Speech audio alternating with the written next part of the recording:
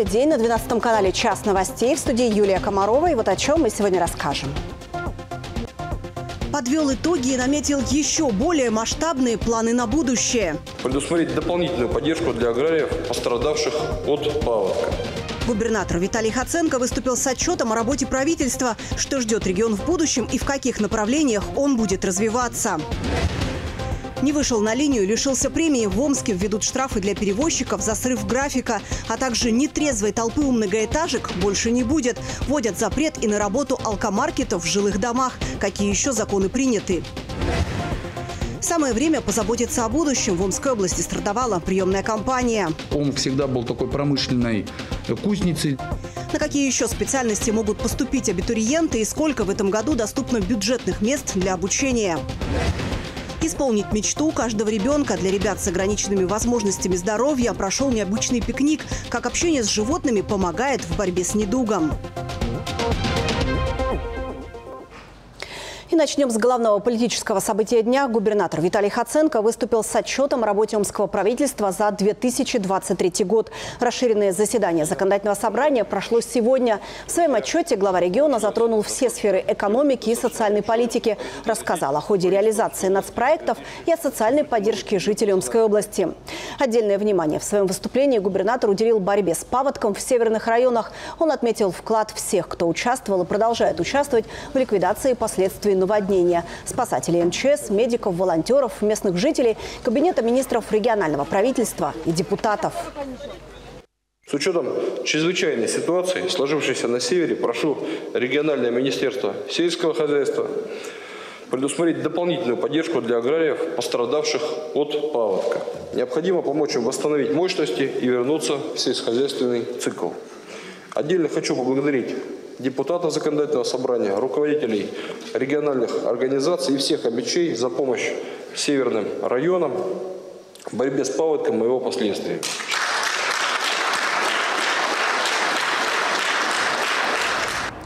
Целом отчет губернатора затронул все жизненно важные сферы. Так, благодаря нацпроектам, которые инициировал президент Владимир Путин, в прошлом году в регион удалось привлечь более 27 миллиардов рублей. На эти деньги было построено два детских сада, три школы, бассейн на Московке-2, больше 80 ФАПов и врачебных амбулаторий. Выполнен ремонт дорог, в Омске проведена реконструкция Ленинградского моста. На будущее Виталий Хаценко поставил задачу. Омская область должна воспользоваться такой федеральной поддержкой по максимуму. В новой системе национальных проектов задача простая и понятная. Наш регион должен стать участником каждого национального проекта. А объемы привлекаемой федеральной поддержки должны быть кратно увеличены. Это ресурсы для долгосрочного развития Омской области. Сразу скажу, что всю работу, связанную с проектированием, с подготовкой смет, экспертиз, на стройки, на ремонт, на реконструкции мы начали заранее, и что нам позволяет а, как раз попасть в большинство национальных проектов, о которых говорил президент в послании Федеральному собранию. Будет продолжена работа по созданию промышленных кластеров и особых экономических зон. Это позволит привлечь новых инвесторов и открывать новые заводы, а значит создавать рабочие места и увеличить выпуск продукции в Омской области, чтобы обеспечить потребности жителей, а также наладить поставки в регионы России и экспорт в другие страны. Речь о нефтеперерабатывающей отрасли, производстве машинного, светотехнического оборудования, животноводстве и растениеводстве. Продолжается возведение гидроузла, реконструкция систем систем водоснабжения, газификация частного сектора. В 2023 к голубому топливу подключено 10 тысяч домовладений, а также строительство газопроводов.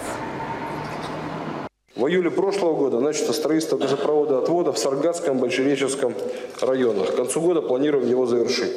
Проект позволит газифицировать свыше 7 тысяч потребителей, 52 котельные в 18 населенных пунктах Большереченского района. На этом не остановимся, и от Большеречи газ пойдет на север области до города Тары. Подробно остановился губернатор и на теме спецоперации. В течение года проведена работа по актуализации социальных паспортов для оказания помощи участникам СВО и членам их семей. Отмет, открыт первый в России межнациональный и межконфессиональный центр гуманитарной помощи. Появились новые меры поддержки. Так, дети участников спецоперации, обучающиеся по программам среднего профессионального образования, направляются в первоочередном порядке на оплачиваемую практику. А студенты техникумов и колледжей очной формы имеют право на получение получения бесплатного горячего питания. Установлена льгота и по транспортному налогу. Отчет губернатора и работу правительства в 2023 году высоко оценили все, кто присутствовал в зале заседания. Это депутаты Государственной Думы Томской области, представители общественных объединений и конфессий, а также руководители предприятий и организаций. Многие отметили успешную работу по развитию инфраструктуры, в частности, возведение четырех десятков вышек сотовой связи для устранения цифрового неравенства, запуск нового водопровода в Чернолучинской зоне, где питьевую чистую воду получат не только 6 тысяч местных жителей, но и 43 детских детских лагеря, также строительство учреждений здравоохранения. Речь шла больше, наверное, даже о планах, которые вот сегодня, сегодня которые выстроены уже. О хорошем, наверное, даже отличном заделе вообще на будущее. том фундаменте, который сегодня сделан для нового этапа в развитии социально-экономическом нашей области. Очень много э, делается на инвестиционных комитетах. Я сам участвую в работе. Вот вчера было заседание инвестиционного комитета. На каждом инвестиционном комитете это 4, 5, 7 проектов рассматриваются, которые дают нам в будущем и новые рабочие места, и э, доходная часть увеличивает в наш бюджет. Соответственно, эти деньги мы можем тратить их и на то же самое строительство детских садов, школ, на ремонт и так далее. Мне понравился вообще вот раздел по социально-гуманитарной сфере тоже все разложено было по полочкам. Я думаю, что задачи очень большие. Улучшая инвестиционную привлекательность и создавая особые экономические зоны, в Омскую область привлекают новые предприятия и создают рабочие места с достойной заработной платой. Как следствие, в регионе снижается уровень безработицы и отмечается рост экономических показателей. Рост объемов сегодня э, очень большой сегодня. Занятость населения, нам нужны кадры, обучение сегодня. То есть такой подъем мы давно ждали, чтобы принести наше население сегодня. Не смотрели на Москву и на Питер, раньше за рубеж убегали, слава богу, сейчас не убегают. Создать условия нормально для жизни людей. Они создаются, мы это видим, и люди это видят. Поэтому я как депутат благодарю, что все это делается. Мы э, готовы в школу участвовать, готовы в садиках поддерживать самое. И готовы ребят воспитывать, чтобы пришли к нам на смену достойное и чтобы сделали лучше, чем мы сегодня сделали. Общественность была всегда рядом с правительством, с законодательной властью в реализации национальных проектов.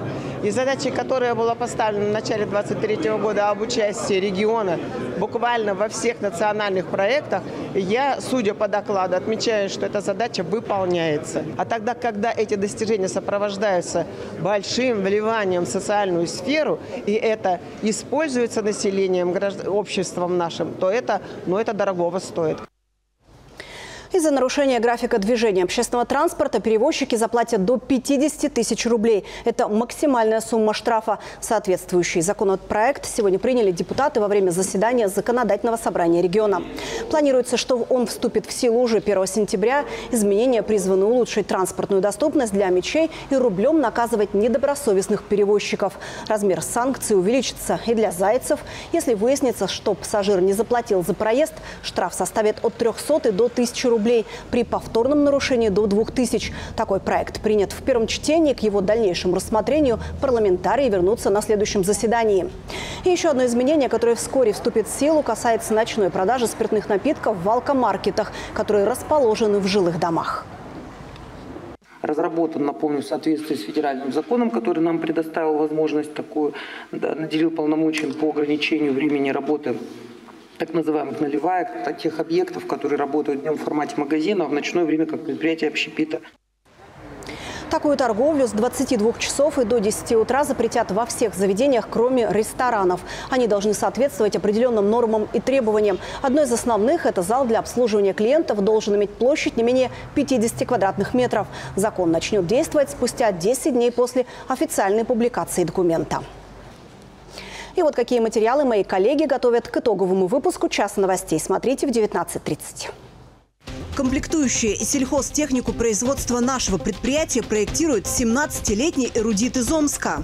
Я сейчас моделирую новую оборону Высоко оценил оборудование делегации из Казахстана, какие агрегаты на особом счету у зарубежных партнеров, почему в первую очередь гости отправились по районам области и в каких еще сферах продолжится взаимовыгодное сотрудничество, расскажет Анна Лукьянец. Пока родители на работе, школьники в жару ищут развлечений у воды, забывая, насколько это опасно. По 9 лет, по 8, по 7 лет сразу с акватории береговой линии выводим их, то есть выгоняем, отправляем домой. Всего за пару дней утонули несколько человек. Не отдыхают, а работают на пляжах сегодня и спасатели. Патрулируют как с берега, так и с воды. Очень много случаев, да, нужно следить за своими детьми и знать, где они. Небезопасно это все. Почему именно в этом году вода особенно опасна, узнала Анастасия Вишова. И сегодня в омских вузах и учреждениях среднего профессионального образования стартует первая волна приемной кампании. Подать заявление выпускники 2024 года могут в пять университетов. При этом каждое образовательное учреждение самостоятельно ограничивает количество специальностей, на которые примут документы. Ждут абитуриентов и в профессиональных техникумах и колледжах. В этом году в них увеличили количество бюджетных мест на 438 единиц. Бесплатно обучать будут специалистов для сельского хозяйства, медицины и образования. Приоритете также подготовка инженеров. Он всегда был такой промышленной кузницей, да, здесь много предприятий разного направления, связанных именно с промышленным производством. Поэтому вот для того, чтобы удовлетворить потребность региональной экономики и региональных предприятий э, в этом направлении, мы, отработав с Минпромом и с каждым отдельным промышленным предприятием, мы э, основной костяк мест, порядка 49% уделяем именно этому направлению. Добавлю, что сегодня на территории региона работают 46 учреждений среднего профессионального образования и 22 вуза. Какие условия обучения и перспективы трудоустройства обещают потенциальным студентам? Подробный материал о старте приемной кампании смотрите сегодня в выпусках программы «Час новостей». Народный артист России Дмитрий Харатьян выступил с лекцией для сотрудников омской полиции. Мероприятие состоялось в культурном центре МВД. Творческий деятель, он же спикер Российского общества знания, поднимал вопросы нравственных и патриотических ценностей. По его мнению, это основа национального благополучия. Дмитрий Харатьян подчеркивает, на этой сцене он не артист, говорит он от лица обычного гражданина. И свой вклад в защиту своей страны может нести каждый человек, независимо от возраста, места работы и выбора жизненного пути. Для меня судьба и Родина едины, и все, что происходит в моей стране, для меня важно и отзывается. Я бы хотел, конечно, поделиться своими мыслями, своими взглядами, своей позицией с э, аудиторией как можно большей, для того, чтобы э, разобраться и вместе определиться в каких-то базовых э, понятиях о ценностях человеческих, общечеловеческих, ну и, конечно, о наших российских приоритетах и понимании текущего момента. Петровский пост по новому стилю отменен из-за слишком поздней Пасхи в этом году. Насколько правдоподобна эта информация, появившаяся в интернете. В прямом эфире 12 канала расскажет митрополит Омский и Таврический Дионисий. В программе «Благовесть слова пастыря» Владыка также подробно остановится на теме празднования Троицы и предстоящем крестном ходе на Байдарках. Поделится архиерей планами посещения епархии Омской области. Я думаю, что для каждого верующего православного человека визит э, э, митрополита, правящего архиерея – это большое событие, большой праздник. Я знаю, что будут и литургии запланированы в больших соборах на территории районов Омской области. И вот как раз таким примерным графиком владыка и ознакомит наших телезрителей.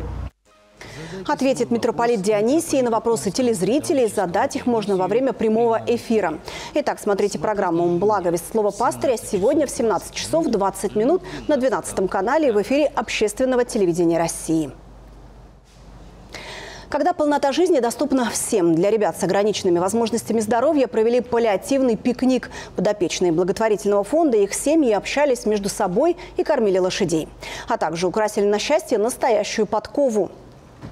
Встреча стала началом большой программы мероприятий. Подробности в нашем материале. Виктории Козловой смелости не занимать. Она одна из первых отважилась покормить коня по кличке Инар. Выбирает самую красивую морковь. Говорит, лошади все чувствуют, поэтому каждый жест и слово хранит в себе тепло. Девушке 24, она страдает неизлечимым заболеванием миопатия. С недугом помогает справиться не только верный помощник и друг мама, но и сильный характер. Вика получила степень бакалавра по психологии, теперь учится в магистратуре. Когда были в Аушке в 2017 году после моей первой операции, ну, реабилитация, увидела, знаете, конную экскурсию в горах. Мама хоть меня и отговаривала от этого, но я смогла уговорить маму, покаталась на лошадях два часа, ну, с перерывами, но все равно смогла. Доктора тогда очень этому удивились. Знакомят ребят и с любимчиками конюшни пони. Знаете, у нас 12 лет в этом году, зефирки 6. Ровно два раза. Папа. Ипотерапия – это не только про реабилитацию с помощью езды, но и про обычное общение и контакт с самим животным. Здравствуй. А как поцеловать можно даже? Поцеловать Инара Дарья все же сумела. О, непередаваемо. Первый раз с ними контактирую. Это для меня прямо такой большой пласт эмоций, большой пласт информации. Я вообще не думала, что лошади настолько умные. Ребят на встрече семь. У каждого свои особенности здоровья, поэтому важен индивидуальный подход, рассказывают организаторы. За подопечными закреплен свой волонтер, для того, чтобы мамы и папы тоже смогли отдохнуть. Мне так вообще очень редко приходится выходить из дома, возможностей мало. И тем более на природу, и куда-то за город, и с лошадьми пообщаться, которых я просто обожаю. Я уже на другой конюшне была, там каталась на лошади. Каждый подопечный фонда уйдет с подарком, который, кстати, сам смастерит. Настоящая подкова станет талисманом на счастье, а также напоминанием об этом насыщенном дне. Наша философия и принцип – это полнота жизни каждый день. Нам важно, чтобы семья нашего подопечного э, не только была в болезни, в лечении, в каких-то каких-то процедурах, но и в полноценной жизни, в развлечениях, в природе. Этот паллиативный пикник станет большим началом серии других встреч. Их реализуют для ребят с ограниченными особенностями здоровья. Поменяют лишь концепцию – рыбалка, катание на каруселях или поход за грибами. Анна Лукинец, Регина Абузарова, Сергей Пайхалов, 12 канал. Омские водомоторники разыграли медали чемпионата региона. Наши кикбоксеры отличились на первенстве России в Подмосковье, а экс-игрок «Авангарда» стал хоккеистом года по мнению Международной Федерации. Все подробности у спортивного обозревателя 12 канала Алексея Дариева. Омские водномоторники разыграли медали чемпионата и первенства региона. Соревнования прошли в акватории Иртыша и собрали порядка 25 участников. Спортсмены соревновались в гонке 4 по 7,5 миль. По итогам турнира среди юношей в классах мото-лодок победу одержали Тимофей Лилякин, Матвей Лилякин и Илья Захаров. У взрослых лидировали Никита Шалыгин, Николай Егоров, Артем Бадамшин и Татьяна Лилякина. В классах глиссеров отличились Анатолий Шиндяпин, Юрий Глущенко и Константин Навродский. В классе скутеров награду высшей пробы завоевала Татьяна Лилякина. Омские кикбоксеры отличились на первенстве России среди школьников в подмосковном Одинцово. Победу в разделе поинтфайтинг одержала Ольга Мыльникова. Также спортсменка завоевала бронзу в разделе лайт-контакт.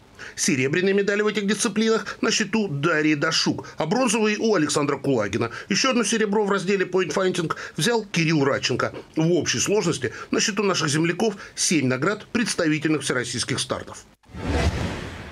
Международная федерация хоккея объявила имя победителя в номинации «Лучший хоккеист года». Им стал бывший нападающий авангарда Роман Червенко. В голосовании участвовали более 100 спортивных журналистов из 22 стран. Набрав почти треть голосов, Червенко опередил швейцарского защитника Романа Йози, а также своего соотечественника голкипера Лукаша Достова. Напомним, Червенко провел в Омском авангарде два сезона, по итогам обоих попадая в списки лучших бомбардиров лиги и клуба. Всего за Ястребов он сыграл 137 матчей. Нападающий забросил в них 70 шайб и отдал 60 результативных передач. Червенко играл в одной тройке с Яромиром Ягром.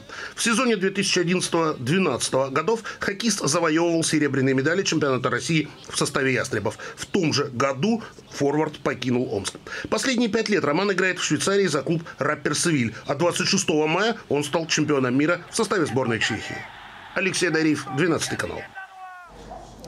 Далее прогноз погоды, ну а все наши новости доступны в социальных сетях ВКонтакте, Телеграме, Одноклассниках и на Ютубе. Найти их можно и на сайте 12канал.ру. Также вы можете предложить свои новости, прислать их нам по электронной почте или же позвонить в редакцию по телефону 695 641. Оставайтесь с нами.